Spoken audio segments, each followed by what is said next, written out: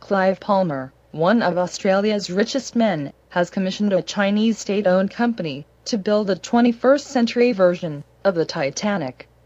The mining billionaire told Australian media that construction would start at the end of next year. It would be ready to set sail in 2016.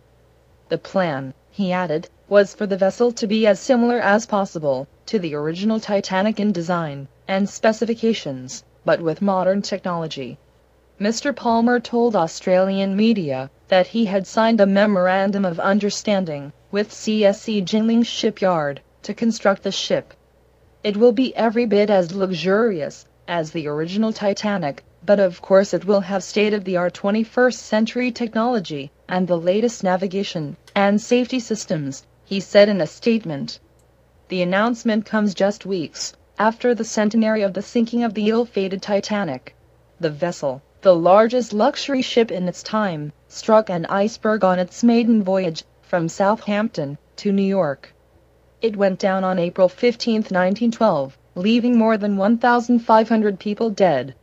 Of course it will sink, if you put a hole in it, Mr. Palmer said in response to questions from reporters on whether the Titanic replica would sink. The new vessel is scheduled to sail from London to New York in late 2016 if all goes as planned.